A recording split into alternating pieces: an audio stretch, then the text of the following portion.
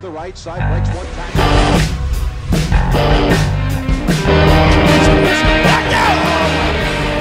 Hey everyone, welcome back to Great Sports Debates.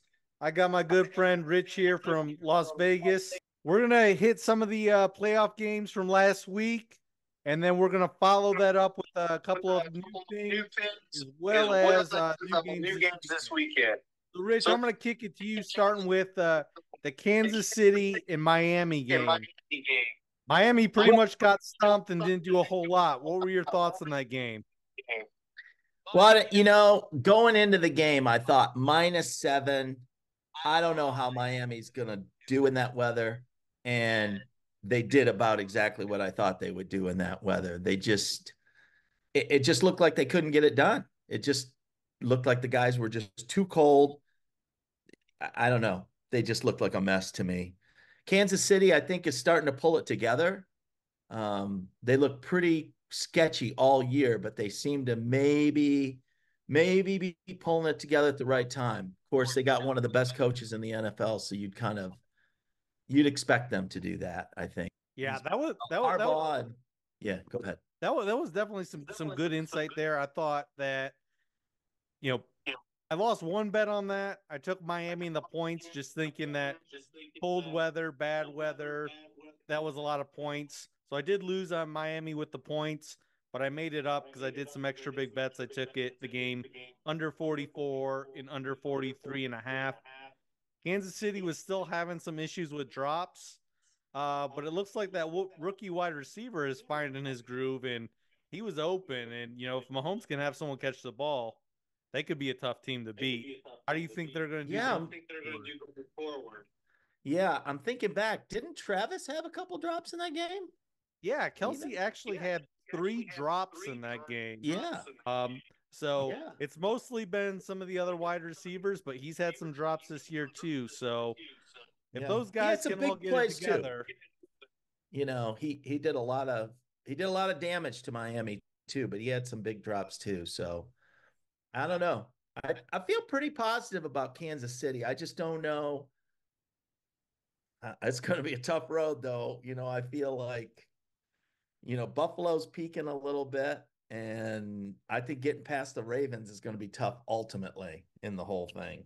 yeah, and we'll definitely get into those uh, matchups coming up. But first, I want to ask you what you thought about the Rams at Detroit. Detroit's Oh. first home playoff game in like 30 years. It's funny, we're both in Vegas and love sports betting, but we're both Detroit Lions fans first. So I know I enjoyed the victory. It was a little close for my comfort. What were your thoughts and what were some of your takeaways from that game? Wow. It was a nail biter all the way. You know, going into the game, I felt like the Rams passing attack was really firing on all cylinders coming into the game. And I feel like their passing attack was underrated just because they had, you know, this guy's out, that, you know, Kupp's out, Stafford's out, you know, Nacua's new. And so they didn't have a whole season of stats, you know, to to pack up and pad up on. So I thought that people, you know, I know people knew they were good, but I don't think they got the recognition that maybe they should have. So I was very fearful going into the game against the Lions because the Lions second, I think me personally, I think the worst part of the Lions team is probably the secondary. They've struggled there the most. And I'm thinking Nacua, Kupp, Higbee, um, I mean, Skoranek is a good receiver. What's the other guy? Robinson. I mean, just you know, murderers row out there kind of thing with Stafford.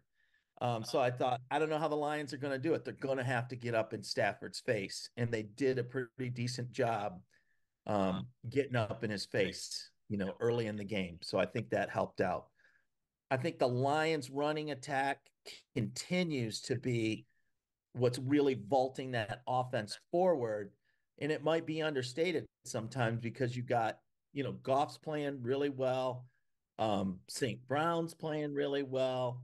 LaPorta, you know, Reynolds. I mean, you got some guys that are are really showing up for games. Williams, I mean, everybody's showing up for games. So, but that running attack, I, feel, like, is what really springs it loose. Yeah, I totally agree with you. I think the Lions got to remember they have all these weapons that look really good, but it starts with the run game. And the Yeah. run game allows the play action passing that creates all these big plays for them. And like you said, the Rams were a very underrated team. I did a lot of bets on the Rams, especially the second half of the season.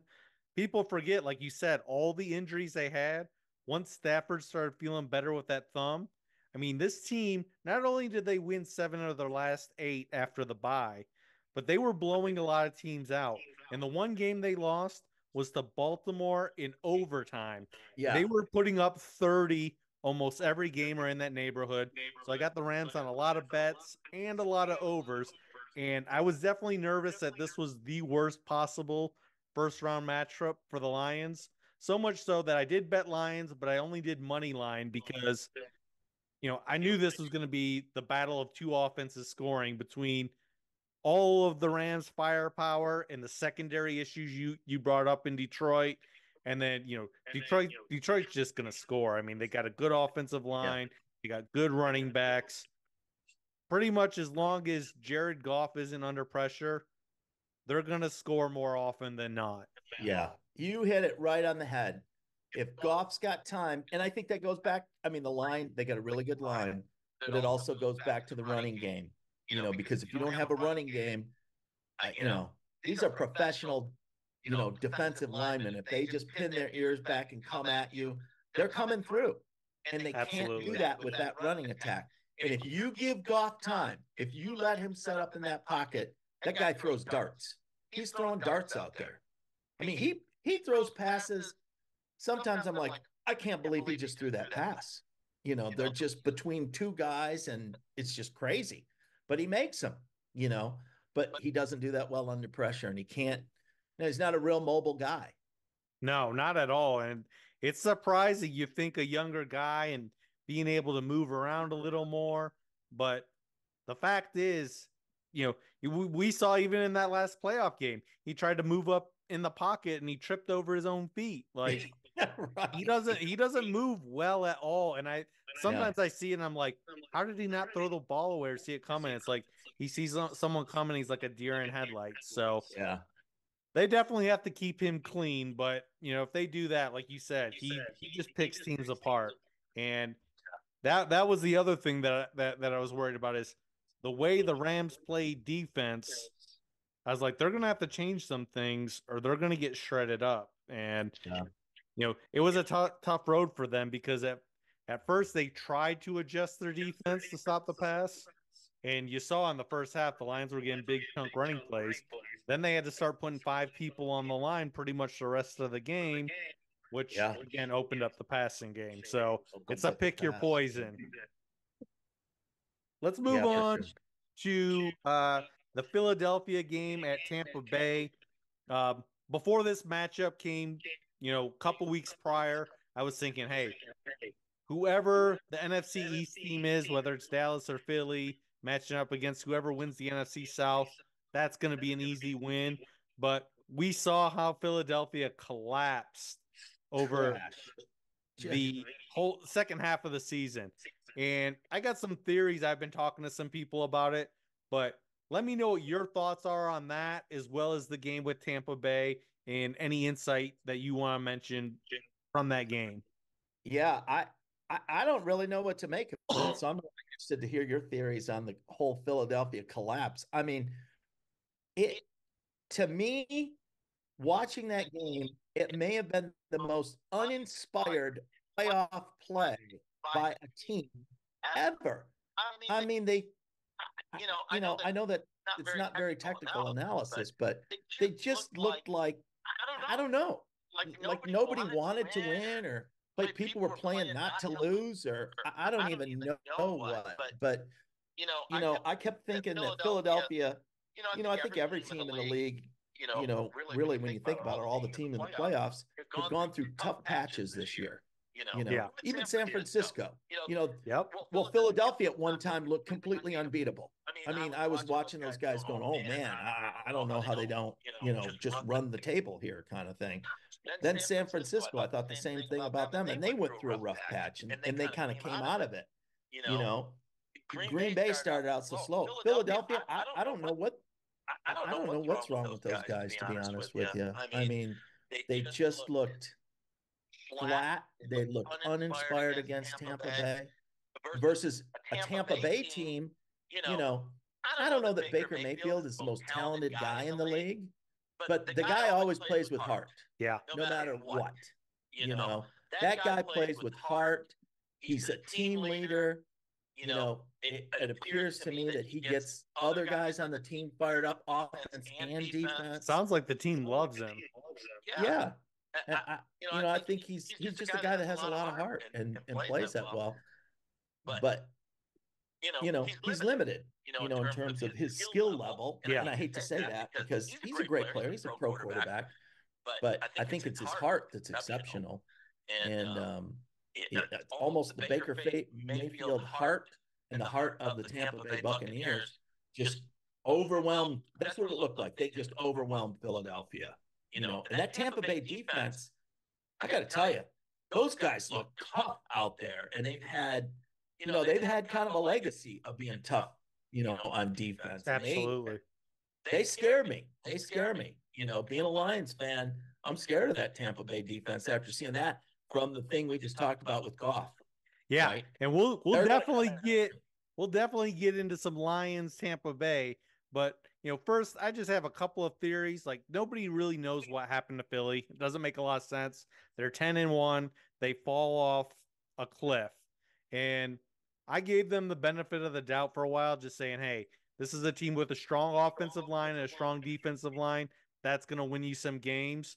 So the only things I can piece together, just from my thoughts and from what I've seen in the games, is one, some of that defensive line is aging. You look at guys like Fletcher Cox, Brandon Graham, Yeah. they're up in age. You look at their sack numbers, like as a team, it's literally cut in half. I mean, they were like record level territory the year before, like 72 or something crazy. And they're nowhere near that number this year. And then the second thing, I think the Eagles forgot a little bit of their identity. I think where they had success going back to last year is they came into the season knowing, hey, we're going to be a physical, run the ball team.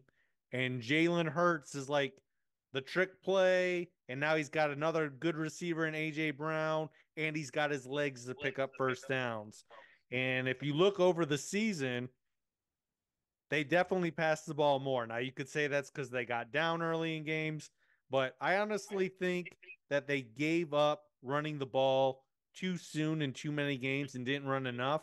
If you look at even when they played Tampa Bay the first time, they ran the ball, and Swift had a big day against them last time. So Yeah. I think Brown being hurt obviously, you know, hurts. You know, Jalen Hurts was clearly not 100%. You know, he had the finger thing, plus he had the, the knee issues. So he wasn't 100%. And I think you have to kind of lean into the strength of your team. You have a, a strong offensive line, you got to run the ball. And then the last part to that, nobody really made note because they were winning, but they lost a lot of guys from their back seven and the linebackers and the secondary core on defense. And some of these guys like Bradberry are exposed now when you're having to cover guys a lot longer than when you had that ferocious defense that was in the backfield all the time with guys like Reddick and everyone just getting in there, getting pressure. Yeah. That defense is not the same. So I think that was a big factor in that. And you know, on the Tampa Bay side, they got a lot of weapons, you know, with uh Evans and really you know strong. Godwin and Otton and you know all these guys. I don't know that they're going to run the ball very well, but they can pass the ball and like you mentioned, they have a pretty strong defense, especially against the run. So that would be an interesting matchup when we talk about that game later as well. But Yeah. let, let me move on and let's talk a little bit about Green Bay and Dallas. This is kind of the one game that surprised me a bit where I did wind up losing a little bit of money. Thankfully, I didn't bet a lot or have a lot of bets on this game, but I did uh, have a bet on Dallas uh, money line that messed up a parlay I I had. I hit every other leg, and I thought Dallas was pretty safe here, uh, despite the fact that you know Jordan Love has been playing on a different level the second half of the season. Wow. It's making all Yeah. the difference in the world. Uh, let me know what you think about this game because I definitely did not see it going this way. Yeah, I, I was in shock. I think I was just in shock. And let me just say, I'm not a Dallas fan, so I wasn't in shock in that way. But I bet on Dallas too. And I lost Yeah. a bunch of money on, on Dallas because I just thought, hey, Dallas at home, you know, Yeah, they've I been know- monsters at home. Like monsters. record breaking. Like I had some friends in there. Well, look who they played. Blah blah blah. It's like it doesn't matter who they played. They had an average margin of victory at home of like 21 points a game. That's average margin of victory. Yeah. We're talking record status, and not just at home. If you look at the whole year, they had nine wins by 20 points or more during the season. Yeah. That's one less. Now, I'm not saying they're on the level of this teams, but just showing how dominant that is. There's two teams that have done more wins by 20 or more. The 2007 Patriots that went 60 and Gotta be a 0. There's got to be a Patriots team in there. Yeah. Super great.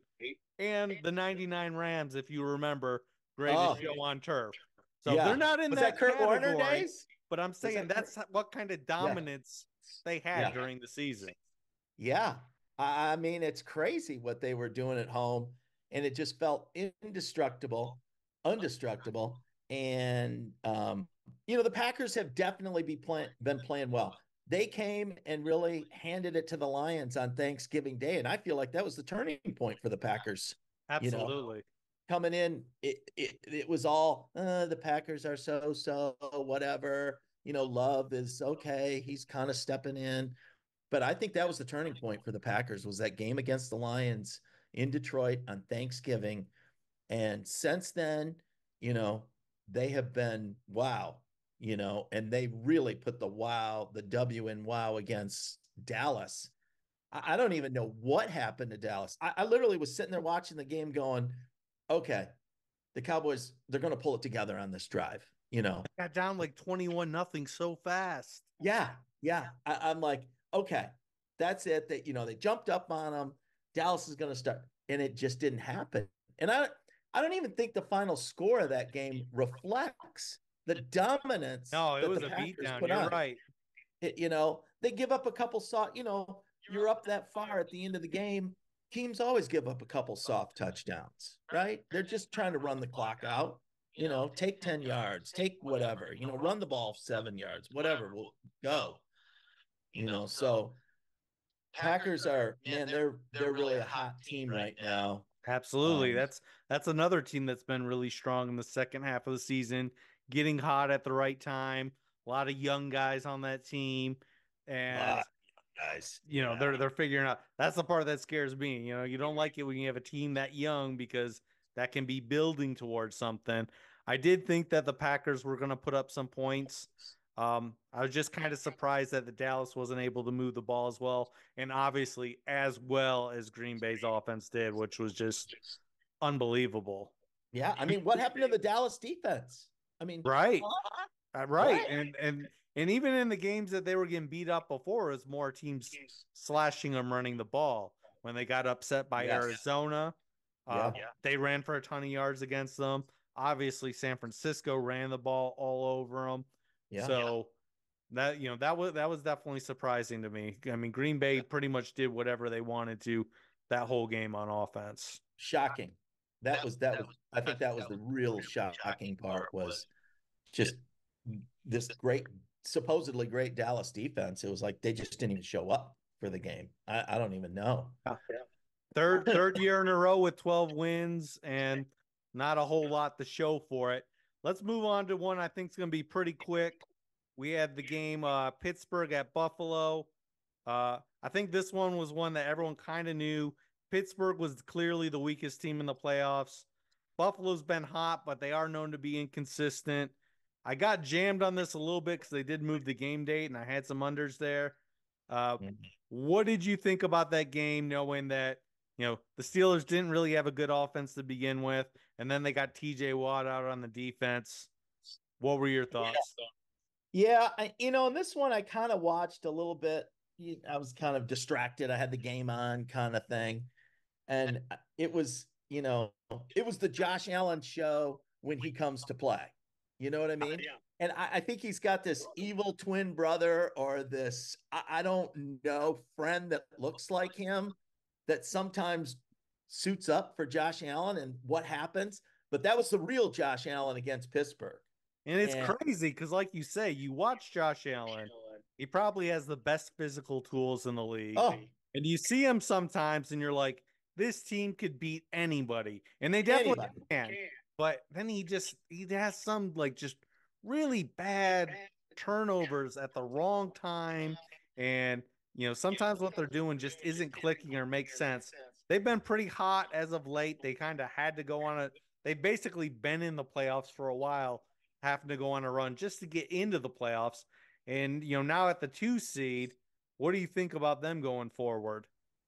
Well, I mean, you know, they looked really tough. If they if they can play, if Josh Allen can play like that, and that whole team can stand up like they did against Pittsburgh. But I agree with you.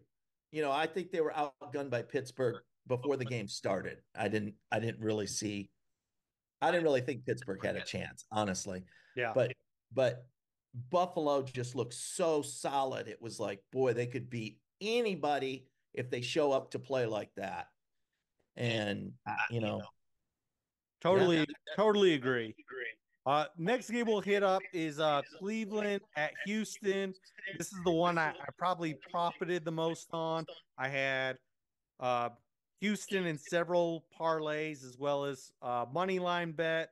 I had them with CJ Stroud and over the 249, and I had them mixed into several other things. Houston won the game. CJ Stroud has kind of shown what I feel like I've seen every time he's been playing. People are acting like this is a big breakthrough, but if you've been watching them, this guy has been having games like that most of the year. Uh, I know Cleveland's defense was tough. I want to say, in my opinion, the thing that really made Houston win the game is Tunsil. And I don't think a lot of people talk about Laremy Tunsil enough as one of those top level left tackles. I mean, you hear Trent Williams and Penei Sewell, rightfully so, and you know Lane Johnson, but this guy is on that level. He's been an All Pro. He's been traded for multiple first round picks. He pretty much eliminated Myles Garrett. And Yeah. Myles Oh. Garrett's eliminated. That defense looks a lot different. And Joe Flacco, you know, granted, he's played better than the other quarterbacks they've had, Deshaun Watson included so far. But people were overlooking all the interceptions he's had because they were winning games. What do you think about that game? well, I mean, Houston coming into the season, I thought Houston was going to be complete trash. yeah, I agree. You know, if you said at game zero, what did I think of Houston? They're going to be one of the worst teams in the league. And wow, I, I don't think anybody thought CJ Stroud maybe, you know, that whole thing was going to happen. And Yeah, and- for that's a that's unbelievable to expect from a rookie quarterback. Yeah, and he's just he just looks like he's improving week. You know, he's been playing well, but he's improving week after week after week, and he doesn't look like a rookie. You know, so my takeaway from that game was just, you know, C.J. Stroud just wow. I mean, wow, and you know, like you said, the Cleveland defense just looked like it folded, and I I like your analysis. I wasn't really thinking about Yeah, Yeah. Myles Garrett. yeah, Myles Garrett just not wasn't a factor, you know, big Yeah, factor. and it's crazy because he's been one of the most dominant players all year long. yeah. And I, you know, honestly, I bet on Cleveland on that game. And I wouldn't blame anybody for that. They won a lot of games. They had the top defense in the league. And I think it was just a matchup issue. Um, you know, I didn't expect them to, to to be able to have that kind of impact on Garrett, but I just figured, hey, if CJ has enough time where he can stand enough plays, he's gonna make plays happen. He's done it all year. And the yards and the completion percentage. What surprises me is, you know, there's a couple things. So first, I give you a stat that I saw. Uh, the only guy to lead the league in yards per game passing and touchdown to interception ratio. It's him, and I want to say the other two guys that did before were like Joe Montana and Oh. like Tom Brady. So That's pretty good company, Uh, right? yeah, big The time. guys throwing the ball downfield. You know, a lot of times these guys have the, a lot of touchdowns, a little interceptions. They got the West Coast type offense, a little dinks and dunks. Like Yeah. this guy's throwing bombs down the field. Yeah, So it's really impressive to me. yeah. So it's well- gonna be it's gonna be exciting. These matchups are really looking good. Yeah, and before we get into the matchups coming this week, I just want uh, a couple things that just hit of current news and things going on. You know, not necessarily so current now, but recently, and because it's a major thing, lots of coaches have moved on, but two in particular I want to mention. You got Nick Saban uh, retiring at Alabama. You got the hoodie out. They're calling it, you know, mutual. it's crazy to me because these guys have both been around for so long, and you could probably make an argument for either one of them as the best of all time in what they do. yeah. Give me your thoughts on Nick Saban and Bill Belichick. Yeah, I mean, you know, Nick Saban, interesting. You know, I was first introduced to Nick Saban because I went to Michigan State. He became the Oh, there you go. State- he became the head coach at Michigan State after I think he was the defensive coordinator at Cleveland, actually, and then got that job and really turned the Spartan team around. You know, then he goes south um, and you know just tears it up. Didn't do well at Miami. Obviously, didn't do well in the the pro format kind of thing. But I mean, you can't argue with his record in in college football and his performance is just you're right. You definitely can make an argument for him being greatest of all time kind of coach. I mean, it's just I mean, it's insane if you look at it. He won six national titles, I believe. And I had to double check this because I heard this stat. And I was like, wow, that is right. Right. Every single Alabama player that, oh, across his tenure that played at Alabama four years won a national championship. whoa. They were that. so good so often. Just, I mean, for, for people that have things to say against Saban, you know, I, I heard all this stuff talking to some people about this recently. Well, he's got all the five star guys. You know? He had to build that. And he's done it at multiple places. He won at uh, Toledo. He went to Michigan State, as you said. You know, he didn't get to the highest level there, but you know, you are behind some teams in that conference. He rose them to a new level, and they won every they year. won over 10 games, right? you know, with him. Yeah. And and he was only there for a short time. yeah. I mean, He goes to It- it wa- LSU. he wins the Yeah. national championship. He goes to Exactly. Alabama, where they had been replacing coach after coach that can't meet the impossible Alabama standard. And honestly, I thought Saban was a great coach then already, but I was like, this is going to be tough. The expectation is unrealistic. And he exceeded what anybody thought was possible. And I tried to think maybe you can think of someone I forgot. I was going through my mind, you know, most dominant runs. Like his run is so much longer than any of these other dominant runs I can think of. I thought about the USC years when they had, you know, Reggie Bush and Leinart. I thought about Miami in the early 2000s as well as in the, you know, late 80s, early 90s. The Florida State teams in the late 90s. You know, there were some good dynasties of Clemson, but none of them were that good that long that I can think of. You know, is there yeah, some I mean, closest I could think of would be Bobby Bowden at Florida State. It Yeah. just feeling that it, that one just felt like nothing like Saban. I agree with you that long, but it felt like Florida Florida State with him. they were top know. five a lot of years. Yeah, that was kind of a boy. They were always in it to win it kind of thing. Um, Absolutely. but not to the level of success as Saban for sure. So crazy. I was shocked that he, you know, that was a shocker. But All right. Belichick's a shocker too. Well, let's move on and do some uh quick fire rapid. Any kind of bets, props, or things you like on these upcoming matchups. You know, got- I haven't. I, I'll tell you my just picks bets. I haven't looked at a lot of the props yet. Okay, Um, so it's gonna be hard for me to do some quick fire on that. no worries. know- Just tell me, tell me what you're thinking on some of these upcoming games and what you like. I you know, Green Bay and San Francisco, boy, oh boy. I San Francisco's been such a monster. I'm gonna bet on San Francisco. Um, I, I feel money line is probably safe. I don't know if the points will be safe, but um, I feel like San Francisco's gonna do it. I don't think it's gonna be an easy game for San Francisco. Yeah, Um, I agree. I like San Francisco as well. I got um this big group uh betting pool that I do where you have to pick every single game against the spread from the regular season to the playoffs. So in that format, I took San Francisco minus nine and a half. I haven't made an actual bet. I definitely like San Francisco. I just don't like giving up nine and a half. that's just so much. Where I want to go with that. I said, I feel like the money line safe is a bad word to use, but you know, it's a bet. I think we're I think we're both we're both rooting for Green Bay in this game. Am I right? Yeah, yeah. I'd like to see that, but I, boy, I think San Francisco's going to do it. I don't nine, points or nine and a half. That's a ton, man. I I don't. I just don't, don't see the game being that far apart at the end. I really don't. So- So, Next one we got up is uh Houston at Baltimore. Same spread, but I don't know if there there's the same separation. I know Baltimore had the best season this year, but nine and a half points is kind of tricky with me in this matchup. What do you think? I, again, I, I mean, I almost feel like nine and a half points in the playoffs is an insane number going into a Especially in the divisional round.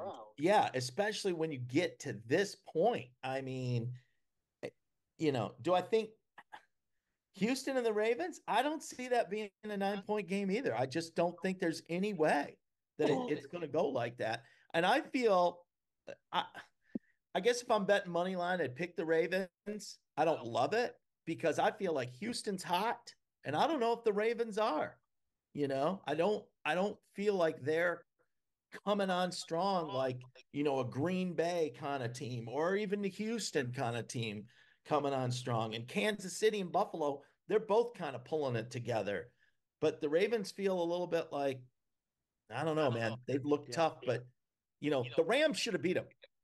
You know, a couple Yeah. weeks ago. The Rams should have won that game. I know it went to overtime, but the Rams should have beat them. It should have never even gone to overtime. And that's not to say the Rams aren't good, but you know, the Ravens are not some unbeatable team. So I don't like a nine point spread. And I'm you definitely going to keep my eye on the injury report in this one. Uh, Baltimore might wind up missing a couple of key guys on defense, so that could wind up making a difference. Um, you know, it's tough to say which way to go here. Nine and a half is a scary number. I thought about two, uh, like you're saying, teasing. You know, maybe you tease Houston up to a ton of points, or you know, if the line drops to nine or eight and a half, maybe if you think the Ravens are going to win, you could tease them down to two and a half. Tough Yeah. spot. The game I think we're both going to be most interested in Tampa Bay at Detroit. Uh, I heard on Bet MGM, they were saying that they thought that this was um, the easiest line, but they liked Tampa Bay, so I was kind of surprised, kind of shocked. I actually like Detroit here. Uh, I took them and I teased that that number down from uh, six and a half to half a point. It opened at six points. It almost immediately shot up at the six and a half. I feel like Detroit's going to win for sure. And my only question is, are they going to win by six and a half or not? Yeah, six and a half points is a lot. That's a lot. Like it, again, I'm just going to say playoffs in general. That's a lot of points. Um, I think If the- it was four, if it was four, I would have been all over it. Yeah, And I might, I might even bet it at six and a half. I already got a couple bets here. I definitely think Detroit's going to win. You know, like I said, I just don't know if they're going to escape win or if it's going to be a blowout. Now I know they won earlier in the year, twenty to six. I think both these teams are a little bit different now. Uh, Detroit was able to run decently against their top, you know, rated run defense. Of course, I think Detroit's going to be able to pass on them pretty well, um, even though they do have a strong defense. I don't think the Bucks are going to be to run on Detroit at all. The running game's not that great, and that's kind of where Detroit shines. The question is going to be, can Baker step up again and have another good game against another bad secondary? yeah, I, agree with that. Um, my biggest concern is giving Goff time to pass. I'm worried a little bit about this Tampa Bay, um, you know, defensive rush. That's that's really my biggest concern. If he gets enough time, you know, they can cover the point spread. If he doesn't, it's going to be tighter. I don't know that Baker is going to tee off on Detroit passing. I mean, you got Evans, great receiver. Um, we'll see. But I, you know, Baker's a little mobile, but I think that Detroit, I don't know. I feel like that Detroit defensive line is going to get through. I think they're going to put some pressure on him. I really do. I seriously Uh, hope so. And I feel like Aidan Hutchinson, maybe I'm biased because I am a Lions fan. I swear I feel he gets held more without a call Oh. than any player in the league. Oh my God. It seems like every play, you know, he's bent over backwards because somebody's pulling him around the neck or something. It's like, what? what? And and he's so fast, they're impactful holds, you know, that's they're really having an effect. So I agree. I think Detroit's going to do it. Again, I don't like these big point spreads in these um you know, this level of the playoffs is is really tough, but um I, I I think it could be I think it could be a three point game, you know. Detroit's been a little soft at the end of games too if they have a lead. Yeah, absolutely. They've You had a few times where they come out firing, like last week or in the Saints game that they almost choked away. Oh, like, bam, 21 points out of the gate. I was feeling sorry for the Saints. happens? You know, I was like, whoa, these guys are getting crushed. And then all of a sudden, you know, it's a nail biter. Right. So um, I think Detroit's going to do it. I think it's going to be a good game.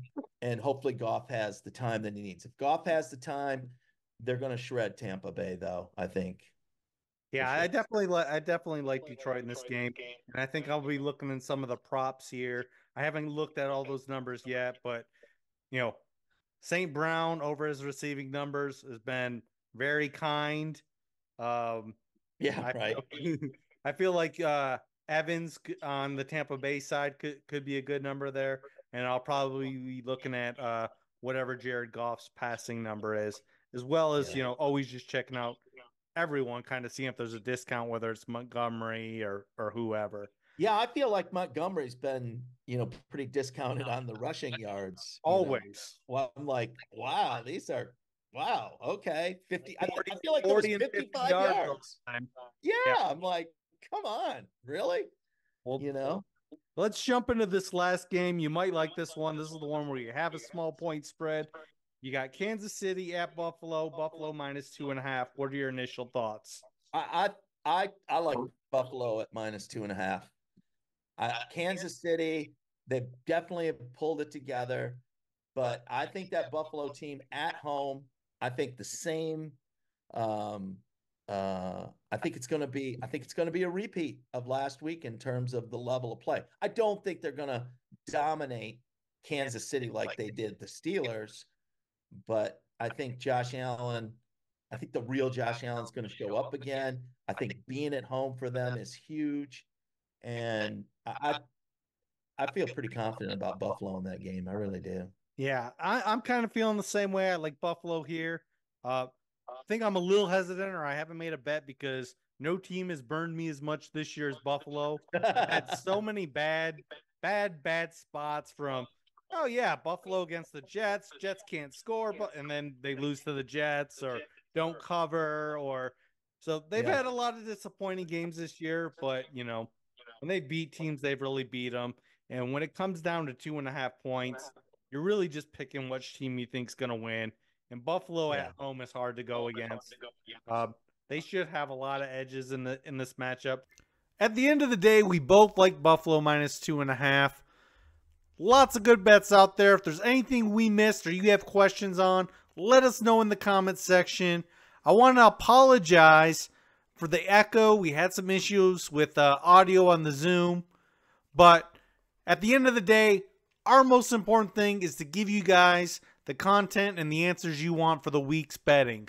Let me know what you think of this new podcast format. As always, like, share, subscribe, and thanks a lot.